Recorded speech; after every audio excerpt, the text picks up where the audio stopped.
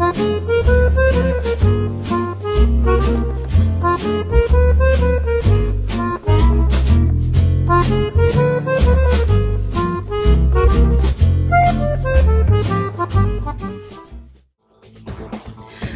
Pilkada DKI Jakarta sudah depan mata sejumlah isu nasional tentu jadi perhatian khusus dari masing-masing bakal calon. Tak terkecuali isu pemberantasan pungli. Bagaimana para bakal calon gubernur dan wakil gubernur DKI Jakarta melihat permasalahan ini? Perspektif Jakarta akan membahasnya dengan tema pungli di birokrasi.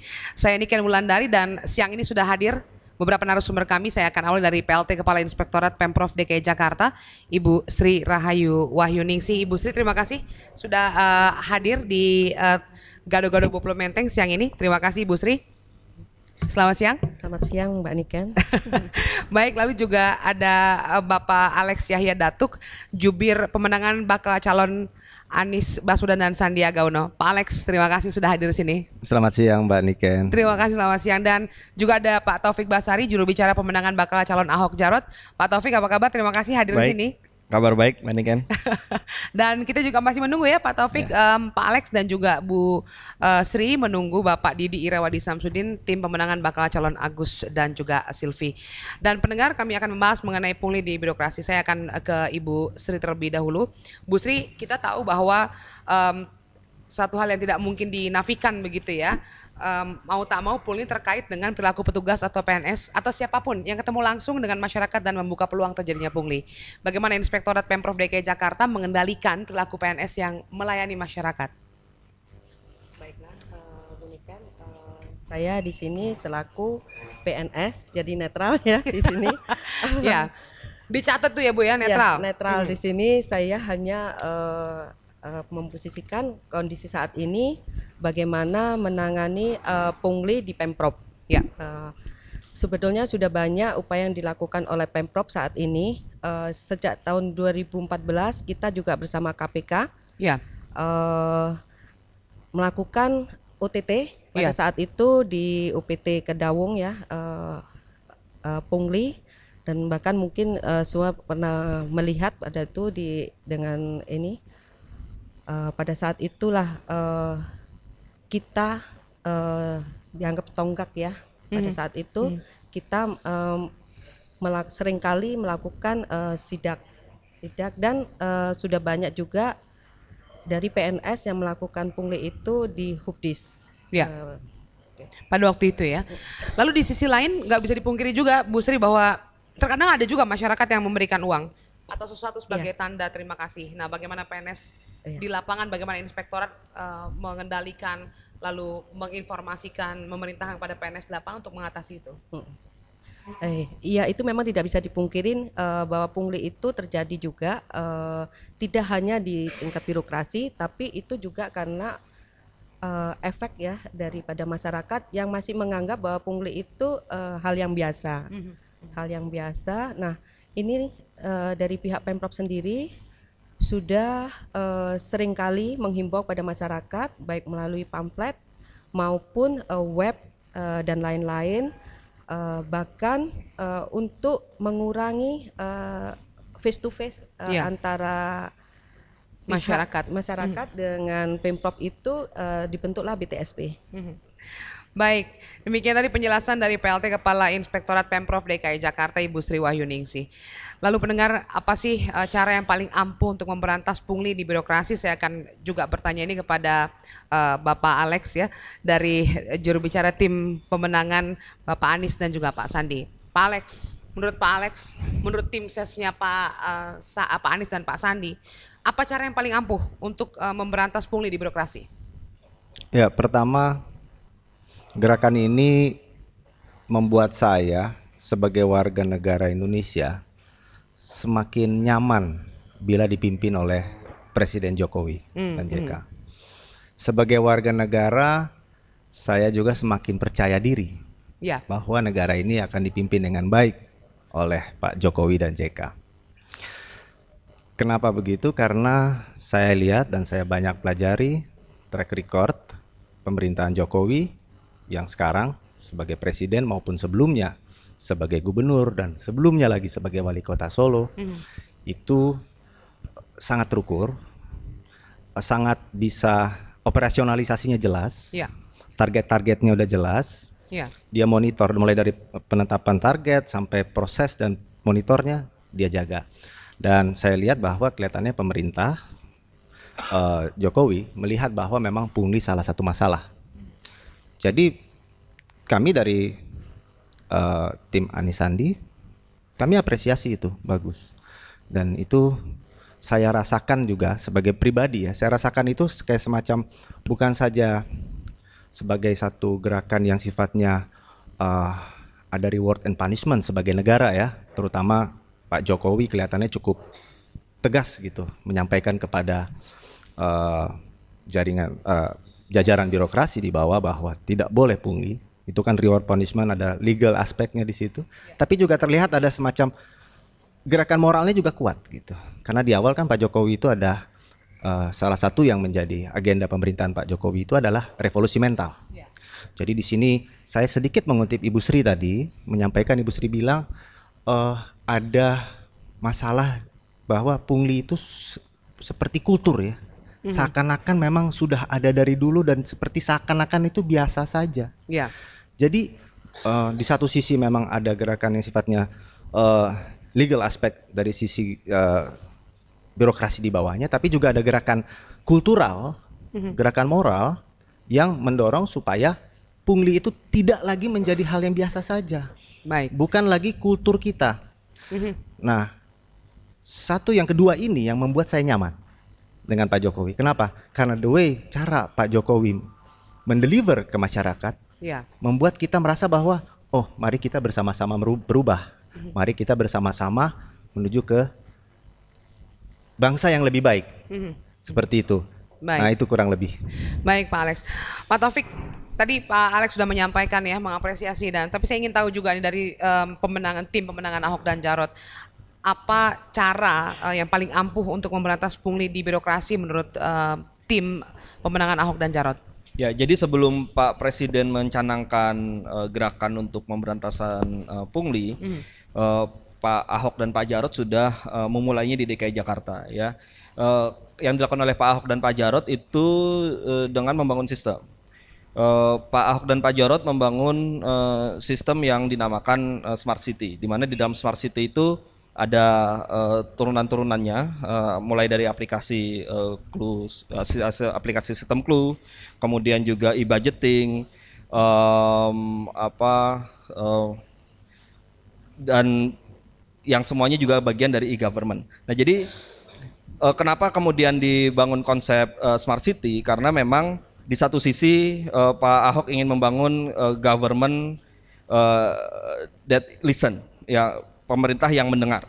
Di sisi lain ada uh, warga negara yang berpartisipasi. Nah, bagaimana cara menghubungkan ini? Maka dibangunlah uh, connection system dengan uh, berbasiskan uh, informasi teknologi uh, elektronik. Nah, inilah yang kemudian uh, menjadi um, bangunan konsep uh, pembangunan yang dibuat uh, oleh Pak Ahok dan Pak Jarot. Hmm. Dan kenyataannya dengan sistem yang dibangun ini sudah mulai ada perubahan budaya yang luar biasa, baik itu di dalam birokrasi maupun di dalam uh, warga negara, ya, di mana uh, birokrat-birokrat ini sudah mulai sadar bahwa tidak ada ruang lagi bagi uh, mereka untuk melakukan praktek-praktek uh, pungli. Sementara di sisi uh, warga negara uh, sudah juga tidak ada ruang lagi buat mereka untuk melakukan suap ketika menghadapi pelayanan-pelayanan uh, publik. Nah, inilah yang sedang dibangun. Kita berharap uh, apa yang dilakukan oleh Pak Ahok dan Pak Jarod dapat berlanjut lagi. Oke, okay. baik Bu Sri perilaku yang cuek, lalu kadang ketus ya, ini pelayan masyarakat. kadang kita nemuin sendiri kan, lagi ngurus apa, kok cuek amat ya, kok ketus amat. Ini jangan-jangan merupakan sebuah gelagat bahwa akan terjadi pungli. Ini terdeteksi nggak sih sebetulnya oleh Inspektorat Pemprov DKI Jakarta? Oke, okay, uh, eh, jadi Inspektorat DKI Jakarta ini kan uh, uh, udah jelas di Undang-Undang 23 diamanatkan dan di Undang-Undang 30 bahwa uh, inspektorat itu uh, membantu dalam yeah. hal ya. ini kepala daerah dalam mengawasi uh, dan membina aparat uh, yang ada di pemprov gitu yeah. ya. Uh, selain itu uh, peran dari inspektorat sendiri uh, mempunyai peran strategis dalam penanganan pengaduan masyarakat. Uh, satu lagi eh, peran inspektorat dalam hal ini juga sebagai pengawas atas eh, ketika ada penyalahgunaan wewenang oleh eh, aparat. Nah, itu sudah jelas peran kita. Nah, di sini juga eh, tadi Itu kalau juga yang ketus-ketus gitu dideteksi juga Eh, nggak tuh? iya. Atau yang males-males gitu ya? Yang cuek-cuek sama, sama warga gitu Bu Sri? Iya, betul. Jadi gini, ini pun sudah tadi disampaikan sama Pak Taufik. Taufik bahwa kita sudah ada sistem smart city clue dalam hal ini eh, otomatis eh, itu kan selain pengawasan internal oleh APIP ada pengawasan masyarakat. Ya. Nah, di clue itulah pengawasan masyarakat ketika masyarakat melihat pelayanannya tidak bagus, maka eh, masyarakat akan mengadukan dan itu otomatis harus direspon segera oleh eh, dalam hal ini eh, misalkan ada di pelayanan otomatis atasannya langsung harus merespon apakah benar apa tidak. Nah, kalau tidak karena itu menjadi kinerja. Jadi mereka nanti eh, ini sudah sistemnya jadi sudah link eh, ketika mereka tidak bekerja sebagaimana mestinya eh, maka karena kita ada tunjangan kinerja, Ya. otomatis mereka tidak mendapatkannya. Nah, itu merupakan suatu sanksi yang bagi mereka juga akan memberatkan. Jadi Ya. eh, otomatis itu eh, akan eh, memberi eh, dampak bagi mereka ketika dia tidak melaksanakan sesuai dengan tugas pokoknya. Baik. Terima kasih. Ibu Sri terima kasih dan pendengar kami juga masih menunggu Bapak Didi Irawadi Samsudin dari tim pemenangan bakal calon Agus Yudhoyono dan Ibu Silvi dan em, terima kasih Pak Taufik dan juga Pak Alex. Kita akan break terlebih dahulu. Nanti kita akan masuki sesi kedua untuk membahas lebih jauh. Dan pendengar pada em, sesi ketiga nanti Anda bisa bergabung melalui telepon SMS dan juga Twitter Radio El Sinta. Tetaplah bersama kami Pendengar langsung dari Gado-Gado Boplo Menteng, Anda masih bersama kami dalam Perspektif Jakarta dengan tema pungli di birokrasi dan saya masih bersama dengan narasumber kami pada eh, siang hari ini. Ada Ibu PLT Kepala Inspektorat Pemprov DKI Jakarta Ibu Sri Wahyuningsih, lalu saya juga bersama dengan Bapak Alex Yahya Datuk, juru bicara pemenangan bakal calon Anies dan Sandi dan Bapak Taufik Basari, juru bicara pemenangan bakal calon Ahok dan Jarot. Dan kami juga masih menunggu kehadiran Bapak Didi Irawadi Syamsuddin, tim pemenangan bakal calon Agus dan em, Silvi. Saya akan ke Pak Alex. Pak Alex, sistem atau mekanisme pemberantasan pungli kayak gimana yang sudah ada di program em, bakal calon gubernur Pak Anies dan juga Pak Uno? Salah satu penekanan itu kan adalah sebenarnya kalau dalam konteks eh, kegiatan kampanye dan pemenangan seperti ini itu adalah transparansi. Ya, Kuncinya adalah transparansi. Jadi transparansi terutama penggunaan dana. Dana masuk untuk apa, dari siapa, untuk apa, berapa, bagaimana dan compliance terhadap hukum dan undang-undang dan peraturan yang berlaku. ya, Nah, transparansi itu penting sekali. Jadi ketika dari awal ada satu spirit governance pengelolaan yang transparan, maka eh, ruang untuk itu akan sangat sempit karena semua bisa diakses oleh auditor, oleh publik, oleh masyarakat. Gitu. Dan kita juga sudah mencoba salah satunya adalah tim Anies Sandi eh, pada periode awal sosialisasi sudah melaporkan penggunaan dana dan transparan dan auditable diaudit eh, atas standar Ikatan Akuntansi Indonesia Mhm. eh, dan seterusnya akan begitu akan selalu transparan Jadi mulai dari sekarang eh, ini Dari- sudah dimulai. dari gitu. proses periode sebelumnya ketika menguji elektabilitas sosialisasi itu kan ada pengeluaran dana yang keluarnya dari dana pribadi Mhm. Itu sudah dilaporkan, sudah transparan, sudah diaudit oleh uh, auditor publik yang uh, akuntan publik yang berstandarkan ikatan akuntansi tadi. Uh, dan itu salah satu hal yang menurut kami pribadi kami cukup bangga karena kita mau belajar berdemokrasi yang sehat. Karena sering kali dalam proses demokrasi kita hal-hal seperti ini kan juga banyak ya Ya. eh, tanda kutip pungli atau penggunaan dana yang tidak transparan. Nah, mari kita kita kan negara yang sudah punya sejarah demokrasi 17 tahun. Salah satu negara demokrasi terbesar. Mari kita jadikan Indonesia sebagai role model demokrasi. Salah satunya adalah menyelenggarakan Ya. kampanye dan pemilu yang transparan seperti itu. Baik, Pak Taufik kalau dari petahana, nah ini sistem atau mekanisme pemberantasan pungli seperti apa yang ada dalam program bakal calon gubernur DKI Jakarta Ahok dan Jarot? Ya, alhamdulillah apa yang tadi disampaikan oleh Pak Alex sebagai satu harapan itu sudah dijalankan oleh Pak Ahok dan Pak Jarot ya. eh, tidak hanya dijalankan bahkan sudah em, tersistem dengan baik. Jadi memang eh, seperti yang tadi saya sampaikan, Pak Ahok dan Pak Jarod ini membangun melalui sistem. Sistemnya e-government. Ya, di situ eh, prinsipnya adalah kita diawali dengan mencegah, kemudian mengawasi, terus menerima laporan, menindak, memberi sanksi, sampai akhirnya memperbaiki sistem itu sendiri. Nah, eh, bagaimana ini bisa berjalan? Ya kita coba menggunakan eh, informasi teknologi ya untuk menjalankan itu semua. Di dalam Jakarta Smart City selain sistem clue ada juga e-budgeting, ada e-transaction, ada one stop service ya atau BPTSP, Badan eh, Pengelolaan Pelayanan Terpadu Satu Atap, satu pintu maksudnya. Lalu open data, kemudian dijalankan CCTV, sistem kawal anggaran, ada emergency call dan sebagainya. Nah, jadi eh, kita berharap bahwa masyarakat dan birokrat ini benar-benar eh, terbantu oleh sistem yang dibangun oleh eh, Pak Iya. Ahok dan Pak Jarot. Ya. Nah, ini ini harapan bahwa segalanya transparan itu sudah sudah berjalan. Artinya semua semua masyarakat bisa mengecek apakah penggunaan anggaran sudah benar. Apakah eh, pelayanan melalui BPTSP itu sudah berjalan dengan baik? Ya. Mana saja yang kurang dan seterusnya. Semua eh, informasi diberikan secara eh, transparan, terukur bahkan kalau ada masalah bisa diadukan. Nah, ini yang yang kita kita harapkan akan eh, dapat terus berjalan. Ya kalau petahana sudah sedemikian siap Alex, apa yang akan dilakukan oleh Pak Anies dan juga Pak Sandi dengan tadi sudah dijelaskan Pak Taufik ya, dia punya sistem gitu karena dia petahana juga. Ini nanti apa kalau Pak Anies dan Pak Sandi menang eh, dan paling tidak apa yang ditawarkan kepada masyarakat soal eh, ini soal pungli, bagaimana sistemnya? Baik, kita mulai dialog ya. Ya. Oke. Eh, begini, perkenankan saya sedikit mengkritisi. Ya, Karena itulah demokrasi. Mhm, mhm. Proses kritisi, dia- eh, tesis dan antitesis itu penting. Eh, pertama, pertama saya ulang lagi.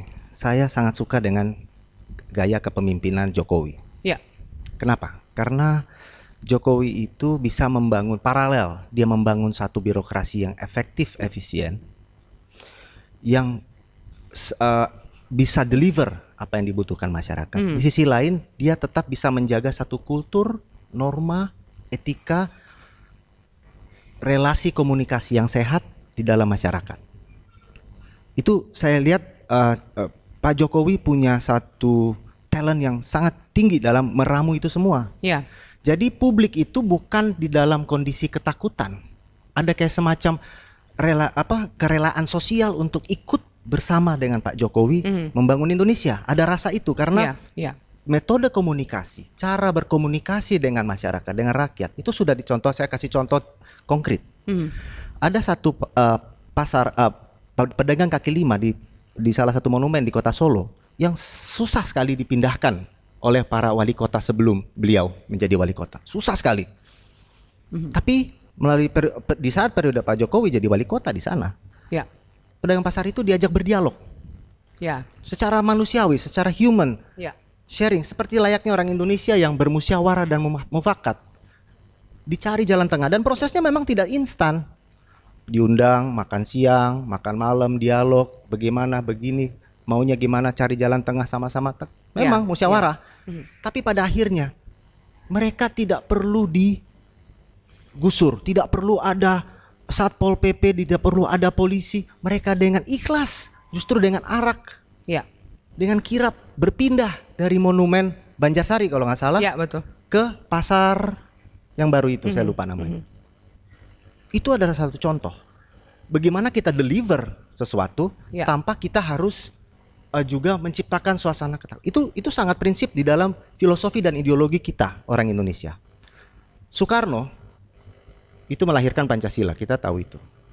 Tapi mungkin juga kita perlu tahu bahwa lalu Soekarno membuat sari dari Panca- Pancasila itu Trisakti. Mhm. Lalu sari dari Trisakti itu apa?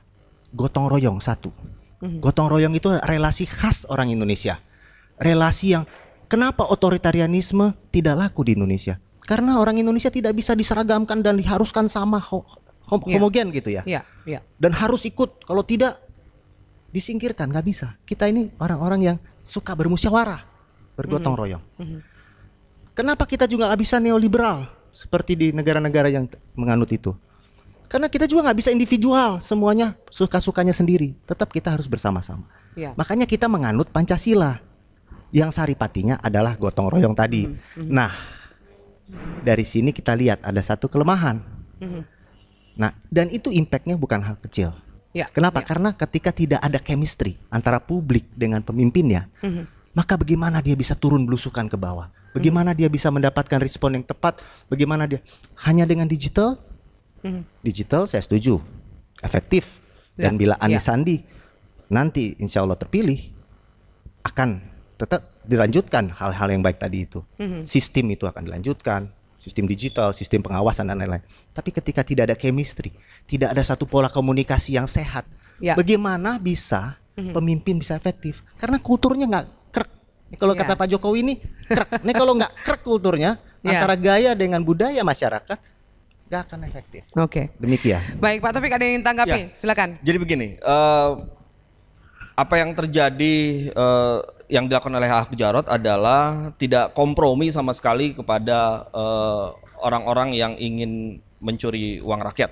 Ya, oleh karena itulah maka orang yang sangat terganggu oleh eh, Ahok Jarot ini kebanyakan adalah orang-orang yang selama ini menikmati eh, kalau kita bicara konteksnya pungli, misalnya menikmati pungli, menikmati suap dan sebagainya. Oleh karena itulah eh, mereka sa- saat ini sangat terganggu eh, dengan apa yang dilakukan oleh Pak Ahok dan eh, Pak Jarot eh, dimarah-marahi bahkan dipecat dan sebagainya. Ya mungkin bisa dicek ke inspektorat eh, siapa saja yang saat ini ketakutan gitu ya dengan Pak Ahok dan Pak Jarot ya adalah orang-orang yang memang eh, di birokrat ini menjalankan praktek-praktek yang tidak benar. Nah, pertanyaannya apakah terhadap orang-orang yang menjalankan praktek pungli, menjalankan praktek suap itu kita harus apa senyum-senyum, harus gotong royong dengan mereka. Tidak, menurut saya itu harus ada tindakan tegas dan itulah yang dilakukan oleh eh, Ahok Jarot. Mungkin penerimanya eh, oleh berbagai orang beda-beda ya, tapi yang jelas saat ini Jakarta membutuhkan satu sikap yang eh, tegas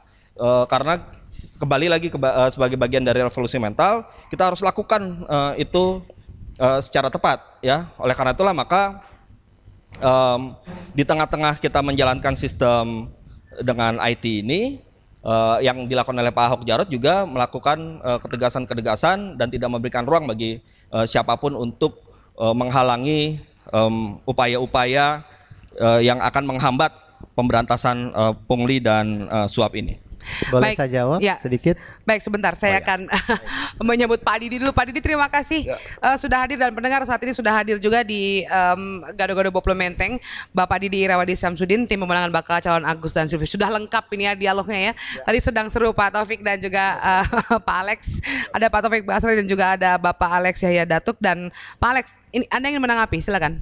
Ya, eh, Tapi satu menit saja ya. siap. Baik. Silakan. Ya, eh, pertama saya setuju kata tegas. Tegas itu penting sekali. Mhm. Tegas, firm. Ah, sekarang saya lompat ketika Pak Jokowi jadi gubernur DKI. Mhm.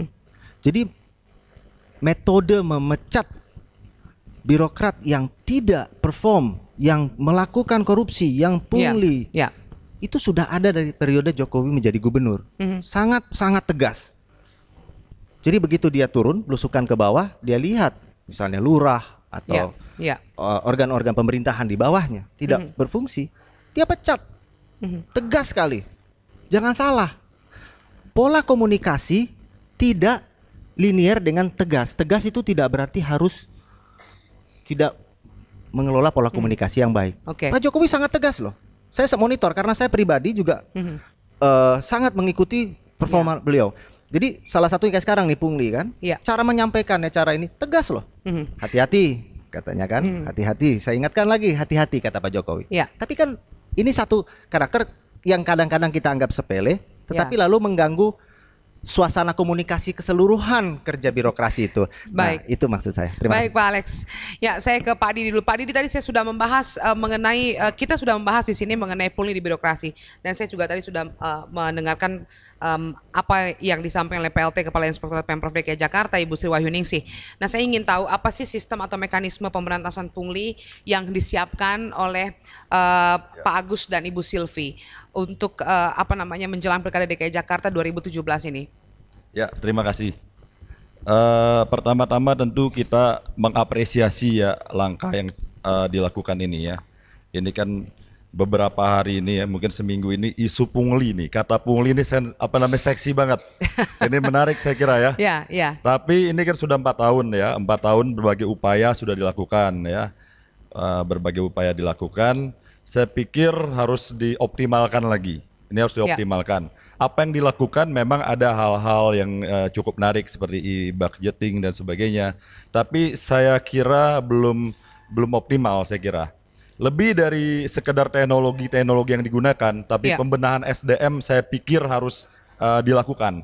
Karena tidak semua uh, apa namanya uh, aspek yang dibenahi itu uh, menggunakan teknologi juga. Banyak hal-hal perizinan misalnya atau hal-hal yang paling sederhana. Pengurusan KTP misalnya dan sebagainya itu kan langsung tidak menggunakan teknologi uh, SDM orang yang bersangkutan. Nah hal-hal yang begini ya kalau uh, saya coba cermati dianggap sudah culture, sudah budaya. Ini bagaimana ini bisa di, di, di- dihapus ya? Karena masyarakat juga eh, selama ini kan kalau kita lihat ingin eh, cepat dan ini juga sudah berlangsung lama hal-hal hal begini.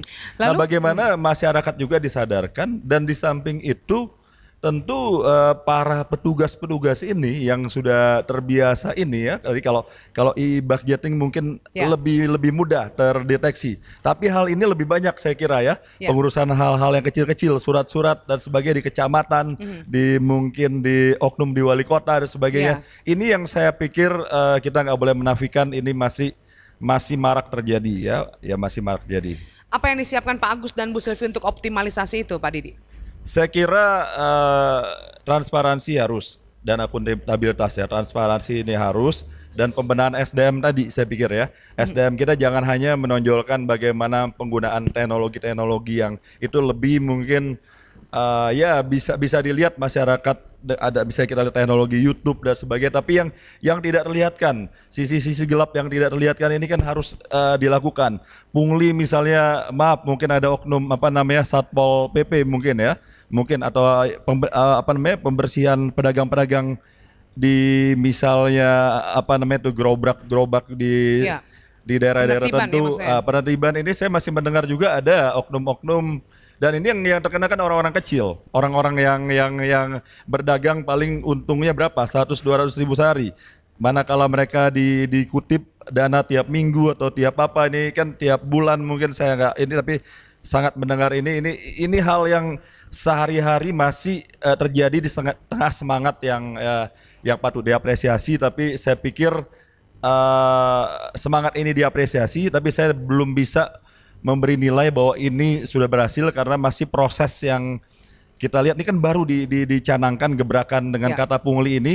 Saya kira kita lihat 2-3 bulan ke depan efektif? Tidak. Kalau tidak efe- efektif tentu harus ada cara-cara yang lebih yang harus di, di, dilihat lagi saya kira Baik, Pak Didi terima kasih.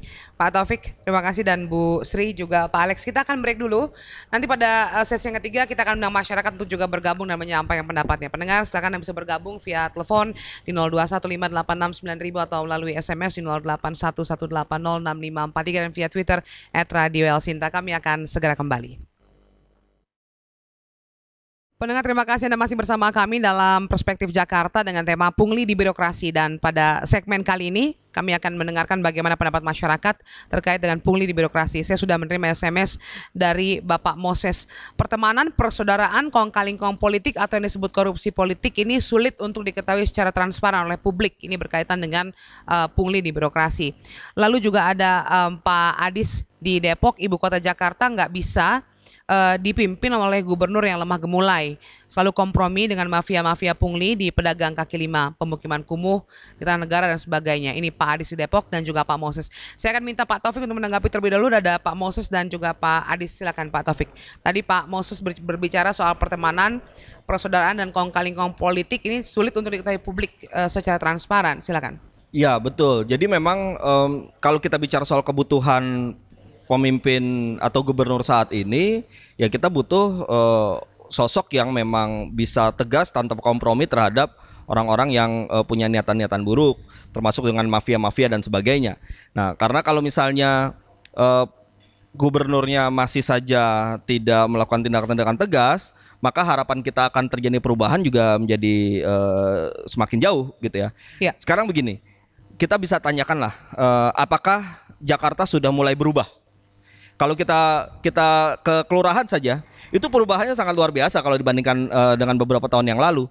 Kita datang ke kelurahan, ada meja khusus untuk pelayanan, kemudian dilayani dengan baik, ada nomor antrian, tidak ada lagi orang yang bisa menyelak karena dia membayar suap atau eh, semua orang juga bisa mengetahui bagaimana prosesnya, apakah ini eh, bisa selesai sehari, apakah satu Iya. jam dan sebagainya. Nah, jadi perubahan itu sudah dimulai. Nah, perubahan yang ini bisa bisa terjadi karena ada ada ada kepemimpinan yang tegas itu tadi. Kalau misalnya kita masih ragu, masih hanya konsep-konsep, mengawang-awang, abstrak, ya tidak jalan-jalan. Nah, apa yang dilakukan oleh Pak Ahok dan Pak Jarot adalah satu tindakan-tindakan yang konkret dan eksekutorial. Oke, baik. Saya ingin juga Pak Alex menanggapi tadi Pak, Pak Moses dan juga Pak Adis di Depok. Jadi ada, ada dua hal. Yang pertama bahwa kong kali kong persaudaraan yang berujung pada pungli itu terkadang tak diketahui oleh publik secara transparan.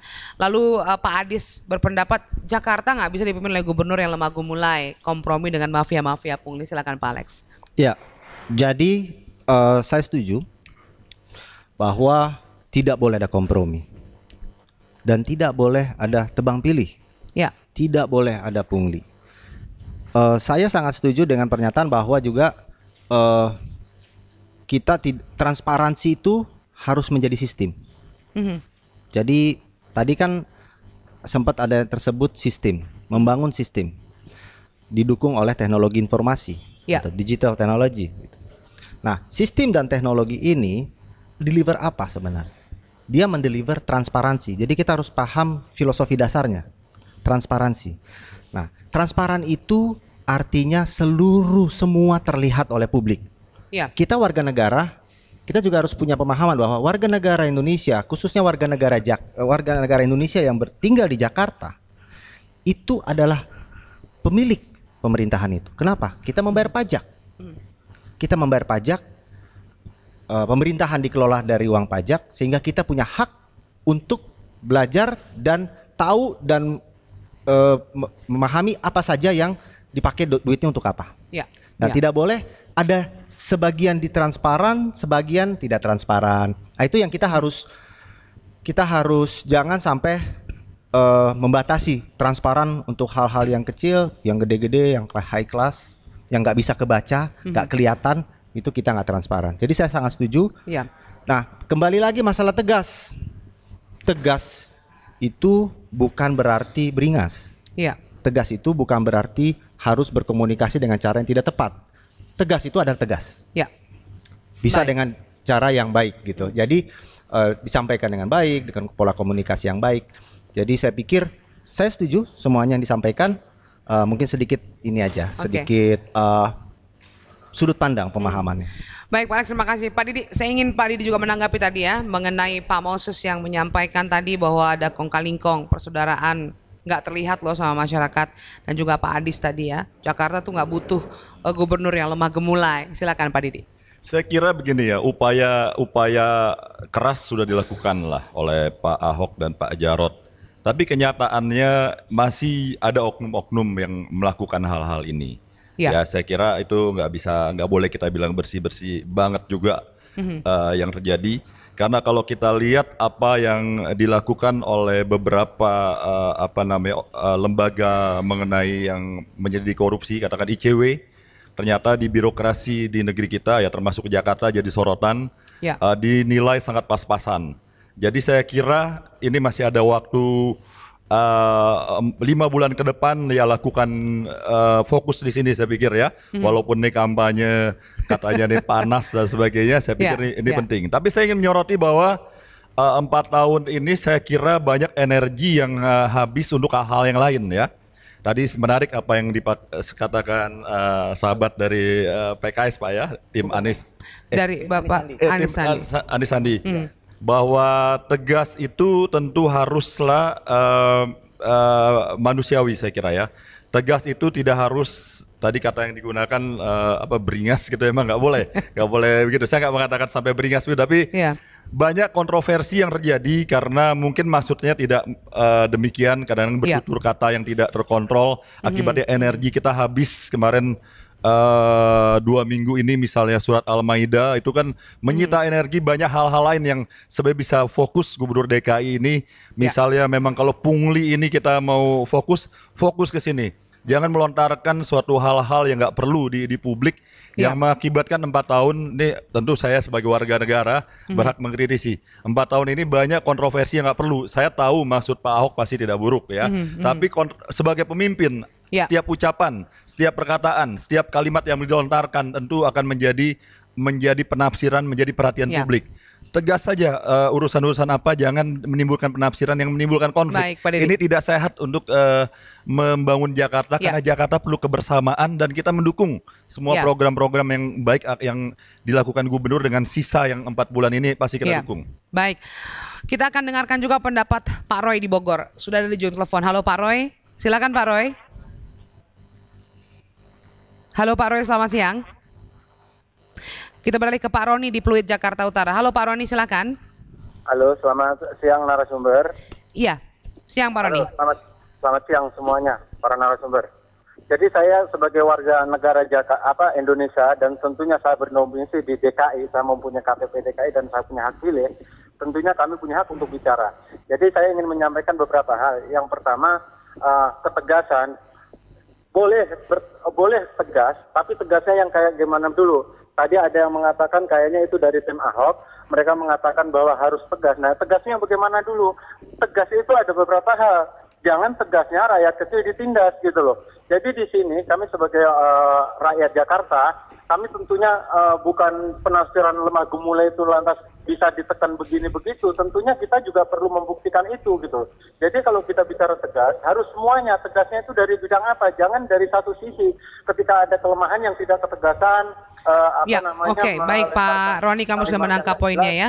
Ketegasan yang harus bagaimana eh, terlebih dahulu. Baik, sebelum saya minta tanggapan dari em, Pak Alex dan juga Pak Taufik dan Pak Didi, saya ingin mendengarkan juga Bu Sri untuk menanggapi ya. Sebetulnya eh, selama ini em, apa yang disampaikan ta- eh, tadi ya, masing-masing juru bicara tim pemenangan ini dan juga masyarakat, bagaimana Inspektorat eh, Pemprov DKI Jakarta itu berupaya untuk betul-betul eh, mampu mengeliminir pungli yang terjadi. Nah, baiklah, eh, sebetulnya Undang-Undang Tipikor itu kan sudah mulai 1999 ya. Eh, pungli ini kan bagian dari Tipikor juga, masuk di dalam Undang-Undang Tipikor. Nah, eh, bagi APIP di sini eh, memang eh, Pemprov dalam hal ini ketika pengawasan kita lemah, maka akan lemah. Jadi Nah, kuncinya ada di pengawasan, pengawasan. ya. Nah, di sinilah eh, kita butuh eh, mandat dari dalam hal ini kita gubernur eh, karena ini sesuai dengan Undang-Undang 23 tadi yang sudah saya sampaikan bahwa kita eh, membantu kepala daerah dalam hal ini Ya. untuk mengawasi eh, dan membina aparat eh, aparatur. Nah, di sinilah eh, kuncinya bahwa peran APIP memang harus. Nah, Ya. itu dan sudah kita lakukan eh, di dalam eh, penegakan apalagi untuk pungli eh, hanya beberapa ini sudah kita tegakkan banyak yang sudah dilakukan hubdis. Oke. Eh, Baik. Dan kita tersambung kembali dengan Pak Roy di Bogor. Halo Pak Roy, silakan Pak Roy. Halo, selamat siang. Iya, siang Pak Roy. Mohon maaf para- terputus tadi Bapak, silakan. Iya, saya. ah, selamat siang narasumber. Ah, begini Pak, untuk pungli ini ah, memang dari dulu kita sudah tahu bahwa pungli itu selalu menyengsarakan masyarakat, terutama masyarakat kecil yang mengurus segala ah, perizinan apa pun itu Pak. Ah, tapi saya ah, sebagai warga DKI, saya udah 35 tahun Pak di DKI. Baru beberapa tahun ke belakang ini saya merasakan pelayanan di DKI itu sangat-sangat baik terutama di kelurahan, di kecamatan ya Pak ya, ataupun di wali kota. Nah, saya uh, menginginkan supaya jangan aja di DKI tapi seluruh Indonesia untuk namanya pungli kita kita harus babat habis. Ya, Maka itu ada ya. tim cyber itu. Nah, terus jangan kita hanya slogan-slogan aja. Uh, katakan tidak pada korupsi, tetapi ya itulah. Jadi Baik, terima kasih Pak. Roy. Kami sudah menangkap poinnya ya. Terima kasih Pak Roy di Bogor, Jawa Barat. Dan saya ingin ke Pak Didi dulu untuk menanggapi. Tadi pendengar kami ada Pak Roni dan juga Pak Roy. Silakan Pak. Terima kasih. Saya pikir ada dua penanggap yang yang eh, dua-duanya tentu harus kita dengar ya. Pertama tentu uh, menarik yang disampaikan Pak siapa Pak tadi? Roni di Pak Roni Jakarta Utara. bahwa tegas itu tentu bukan lalu uh, orang kecil jadi korban, Mhm. ya. Tegas misalnya masalah Bukit Duri, masalah beberapa masalah penggusuran. Ini kan ada cara-cara yang lebih lebih manusiawi, dialog-dialog yang lebih uh, bisa lebih dilakukan. Kalau kita lihat Pak uh, Jokowi di Solo contoh yang yang menarik ya, yang harusnya diikuti juga oleh Pak Gubernur yang sekarang ini Pak Ahok ya. Mhm, Kenapa itu kami melihat kurang dilakukan dialog yang lebih yang lebih bisa merangkul saya kira ya. Ya. Karena ini juga eh, bertentangan dengan janji-janji yang disampaikan. Waktu kampanye kita bisa buka janjinya bahwa di daerah-daerah yang ada historical sejarah, daerah-daerah yang masyarakat bisa ber- diberdayakan, misalnya di Bukit Duri, ini di janjinya kampung deret. Kenapa tiba-tiba setelah Pak Jokowi tidak eh, sebagai gubernur digantikan oleh Pak Ahok, kok cara yang lain yang dilakukan? Merelokasi yang mungkin sepintas lalu wah ke gedung yang lebih baik bangunan Ya, bertingkat tapi masyarakat jadi sulit karena biasa mencari makan di sana. Kalau Anda pernah datang ke Bukit Duri bisa melihat betapa masyarakat memang hidupnya dari sana. Harusnya cara-cara yang eh, cara-cara rel- bukan relokasi ya namanya. Ya, Jadi cara-cara pembenahan Ya. mengoptimalkan sungai tapi membangun suatu hal yang lebih Iya. masyarakat tak berdaya. Contoh yang menarik mungkin Romo Mangun di di, di Jogja ya. Bagaimana dia tidak dia berjuang bagi masyarakat tapi masyarakat di bantaran sungai bahkan menikmati misalnya segi pariwisata, segi-segi yang, Yang lain ya. ya. Baik, ini Pak harusnya bisa dilakukan oleh Pak Pak Ahok ini saya kira. Baik, Pak Taufik langsung saja eh, ditanggapi tadi ya eh, pernyataan dari Pak Didi Irawadi Samsudin. Silakan Pak Taufik Basari. Ya, eh, pertama-tama saya coba tanggapi dulu bahwa em, yang jadi pertanyaan kalau kita memang menyetujui eh, harus ada normalisasi sungai misalnya, Ya. kemudian harus dilakukan eh, satu eh, penanganan tertentu. Tapi yang jadi pertanyaan lantas caranya bagaimana? Itu yang yang saya juga Ya. ingin eh, mengharapkan ada juga konsepnya dari pasangan-pasangan lain yang sampai saat ini saya belum belum dapatkan. Kalau ditanya konsepnya seperti apa, ya tidak pernah jelas gitu ya. Nah memang kita memang eh, harus ada pilihan-pilihan ya. Eh, yang pertama ketika ketika eh, harus dilakukan relokasi misalnya, Ya. terlebih dahulu di, di- eh, disiapkan tempat eh, tinggal di rusun, kemudian eh, disiapkan fasilitas-fasilitas lain dan seterusnya. Oke lah itu itu kita bicara soal eh, bagaimana penanganan terhadap eh, relokasi. Nah sekarang saya bicara kembali ke soal konteks kita yaitu eh, pungli. Ya jadi em, kekhawatiran-kekhawatiran tadi yang seperti disampaikan oleh eh, Mas Didi bahwa masih ada oknum-oknum eh, birokrat yang eh, bermain dan sebagainya itu kita akui pasti masih ada ya. Tapi yang paling penting adalah bagaimana cara untuk memberantasnya. Karena itulah dibuat yang namanya Ya. sistem clue yang tadi saya bilang. Sistem clue ini saya ingin jelaskan sedikit eh, agar masyarakat mungkin bisa mendownload. Mudah-mudahan Mas Didi sama eh, Pak Alex juga bisa mendownload juga eh, sistem clue itu. Jadi kalau kalau setiap kita melihat permasalahan warga eh, warga DKI ini bisa secara aktif memfoto, melapor dan bisa menelusuri bagaimana laporan itu ditindaklanjuti. Kalau misalnya masih menunggu dia akan statusnya merah, kalau eh, sedang dalam proses dia statusnya kuning, kalau sudah selesai statusnya hijau. Kalau misalnya ada ada laporan tidak ditangani, berarti nanti atasannya entah lurah kah, entah camatnya pasti akan dapat eh, sanksi dari gubernur. Nah, Baik. sistem clue ini yang menurut saya cobalah eh, masyarakat DKI eh, Jakarta download, Ya. pergunakan pasti banyak manfaatnya. Oke Pak Taufik, saya ingin tahu Pak Alex ya bagaimana tanggapannya tadi ada dua eh, Pak Didi sudah menyampaikan, lalu Pak Taufik sudah menyampaikan. Silakan Pak Alex boleh ditanggapi ya tadi ada pendengar kami yang menyampaikan hal eh, beberapa poin. Ya, betul. Eh how to? Pertanyaan bagaimana? Ya Hmm. kan? Jadi tadi pertama yang saya sudah garis bawah itu adalah transparansi. Eh lalu yang kedua how to-nya lagi ya adalah bahwa kita tidak bisa mengacu kepada semata-mata persepsi penguasa birokrasi Ya, ya. apa yang baik bagi masyarakat. Contohnya disampaikan Pak Didi tadi, ada satu masyarakat di satu wilayah, Mhm. mereka makannya dari situ. Entah mereka bekerja di sektor informal atau Mhm. sebagai pekerja di sekitar situ, sehingga mereka memang punya kebutuhan untuk harus berdomisili di daerah tersebut. Ya, Kalau mereka diangkat dari situ dan dipindahkan jauh belasan kilometer atau puluhan kilometer bahkan dari lokasi mereka bekerja, Ya. mereka akan kehilangan mata pencaharian. Oh, Sekalipun mereka dikasih tempat tinggal, gitu, pengganti. Jadi perlu ada satu proses yang namanya participatory, partisipatif. Ada proses di mana publik dilibatkan, masyarakat yang terkena itu dilibatkan, diserap, Ya. dan mereka ikut berpartisipasi memikirkan bagaimana solusinya. Hmm. Anda tinggal di daerah yang membahayakan bila Anda tetap tinggal di sini karena di sini ada resiko banjir misalnya. Ya. Tapi di sisi lain Anda juga punya kebutuhan untuk tetap berada di wilayah ini bekerja, dicarikan jalan tengah. Itu yang disebut di dalam uh, metode salah satu metode uh, pemerintahan birokrasi itu adalah sistem partisipatif. Ya. Participatory urbanism atau participatory democracy itu sangat Ya. umum. Dan itu mungkin adalah salah satu cara yang tepat dan sangat inline dengan apa yang kita sebut tadi gotong royong. Ya. Tetap tegas, tetap penegakan hukum, tapi juga tetap manusiawi, tetap kita membangun. Oke. Demikian, terima kasih. Baik, Pak Alex, ya, Pak Taufik dan juga Pak Didi kita akan break dulu. Waktu kita terbatas dan nanti akan saya berikan satu menit untuk menyampaikan kesimpulan akhir. Kami akan segera kembali. Terima kasih Anda berada di sesi terakhir dalam Perspektif Jakarta dengan tema pungli di birokrasi dan tadi sudah kita dengar pendapat masyarakat. Saya ingin em, satu menit masing-masing ada konklusi, ada kesimpulan dari eh, para em, narasumber kami pada siang hari ini. Yang pertama saya ingin ke Ibu Sri dulu satu menit Ibu Sri untuk menyampaikan kesimpulan satu menit saja Ibu Sri. Eh, ba- baiklah, eh, kesimpulannya bahwa memang transparansi dibutuhkan. Eh, selain itu juga eh, edukasi bagi masyarakat bahwa eh, pungli memang harus diberantas. Itu saja. Ya. Terima kasih. Pak Alex, satu menit aja Pak Alex. Kami, saya juga sangat mengapresiasi semangat yang dicanangkan Pak Jokowi untuk membahas, eh, memberantas pungli. Eh, sangat mendukung dan sangat confident bahwa Pak Jokowi bisa deliver itu karena saya pahami bahwa Pak Jokowi punya kemampuan untuk eh, mendeliver program.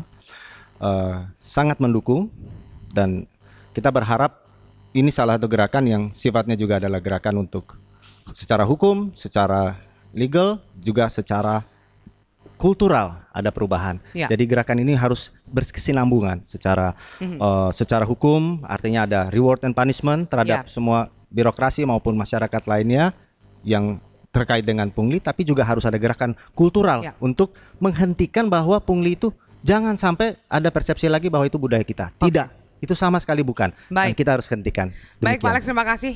Dan Pak Taufik, ya Pak Taufik satu menit Pak Taufik. Ya, jadi kita punya harapan yang sama semuanya bahwa eh, jalannya pemerintahan ini harus transparan, eh, akuntabel dan berintegritas. Yang alhamdulillah eh, sudah dijalankan oleh Pak Ahok dan Jarot dan dibangunnya melalui sistem eh, yang bisa diawasi, bisa di, eh, diikuti, ya bisa bisa turut berpartisipasi. Nah, oleh karena itulah maka terkait dengan eh, gerakan kita bersama untuk memberantas eh, pungli dan suap ini, saya mengajak eh, seluruh warga DKI untuk terlibat aktif, berpartisipasi dan gunakanlah sistem yang sudah ada Ya. eh, seperti sistem clue, eh, download dan laporkan apabila ada masih ada praktek-praktek eh, pungli yang terjadi dalam pelayanan-pelayanan di eh, birokrasi ini dan sama-sama kita wujudkan DKI Jakarta yang bersih dari pungli dan suap.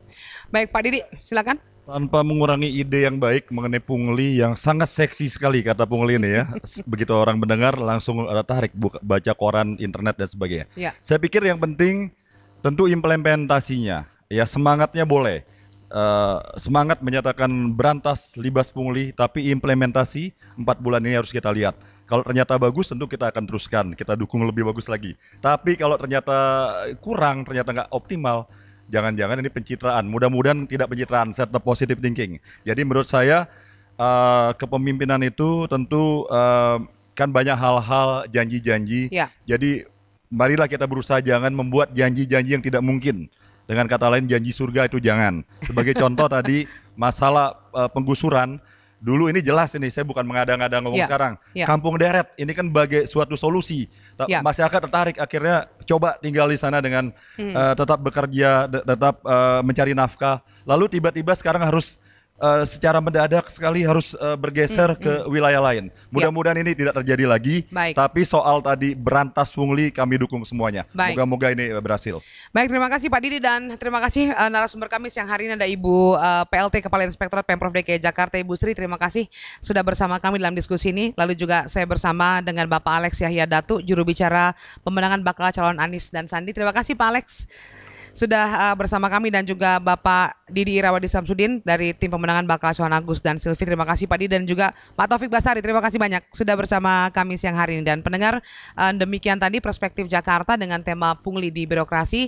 Kita akan berjumpa lagi di lain waktu. Terima kasih mohon maaf dan tidak semuanya dapat kami darahkan Saya Niken Mulandari. Selamat siang.